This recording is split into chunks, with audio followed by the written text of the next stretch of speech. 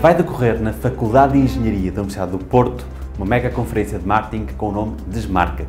em que pretende precisamente, eh, enfim, mostrar como é, que, como é que se pode desmarcar dos demais, não só os estudantes, mas eh, também outro tipo eh, de profissionais ou freelancers, em que desejam saber que técnicas pode utilizar nas mais variadas áreas. Vão ser dois dias, dia 22 e 23 de abril,